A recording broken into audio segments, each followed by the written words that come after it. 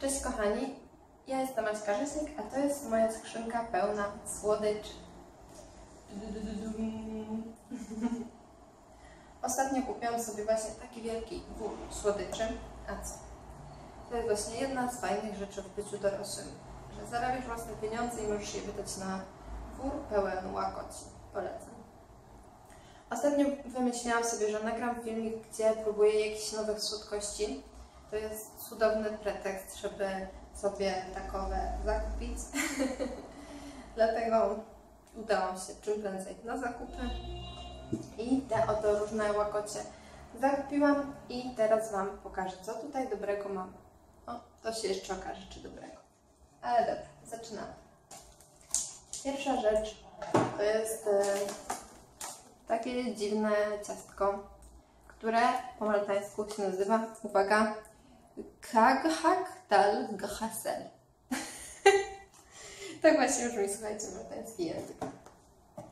Kolejna to jest duża e, dla mnie radość e, wafelki, bo wafelki, jak wszyscy dobrze wiemy, przeważnie wegańskie nie są.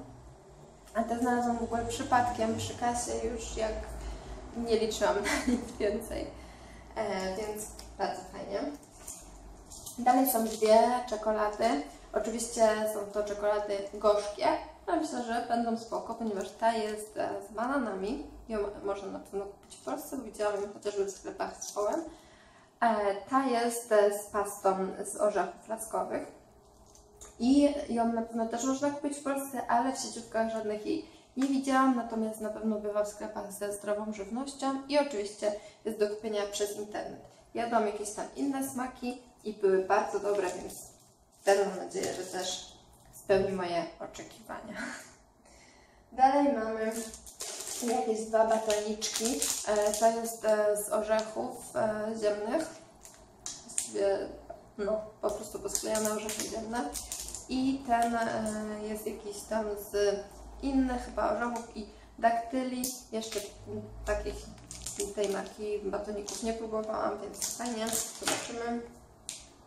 Kolejna rzecz to jest taka malutka pierdółeczka, czyli cukierki miętowe z czekoladą. Niby nic, ale ja bardzo lubię połączenie smaków mięty i czekolady, więc myślę, że to coś dla mnie. Tutaj mamy jeszcze takie ciasteczka z czekoladą. Wszystko, co z czekoladą jest pyszne, więc mam nadzieję, że te ciasteczka też takie będą. Mam jeszcze tutaj żelki Haribo, kwaśne paski. Akurat tych jeszcze nie próbowałam, zawsze jadłam te kwaśne języczki. Więc zobaczymy. Na pewno smakują jak każde kwaśne żelki.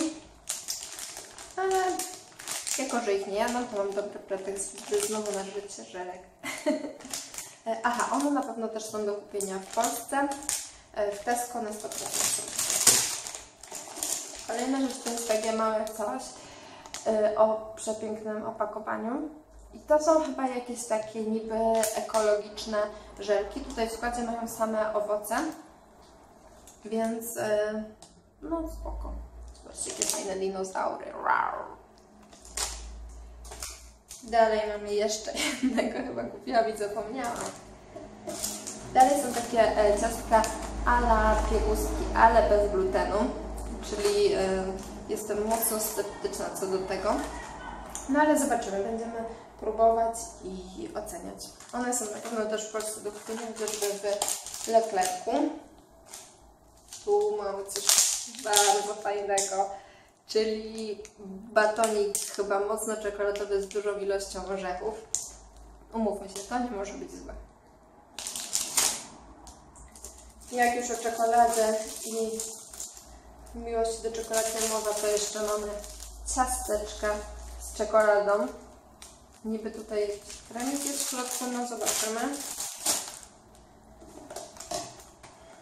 Batoniki.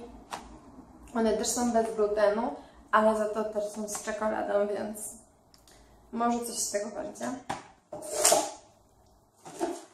Ciasteczka takie śniadaniowe, niby zdrowe. No, na zdjęciu wyglądają spoko, więc mam nadzieję, że takie też się okażą. I ostatnia rzecz to są pierniki. których opakowanie wygląda jak z lat 90. Sami przyznajcie, ale mają takie śmieszne kształty, co mnie przekonało. E, I za taką, za taką paczuchę słodyczy zapłaciłam jakoś około 35 euro. Nie wiem ile dokładnie, nieważne.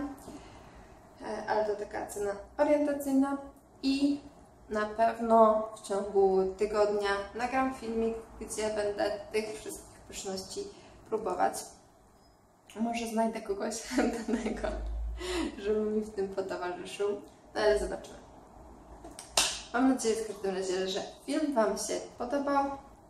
Jeśli tak, to dawajcie znać. Jeśli nie, to też dawajcie znać i piszcie, co Wam się nie podobało. Także miłego dnia.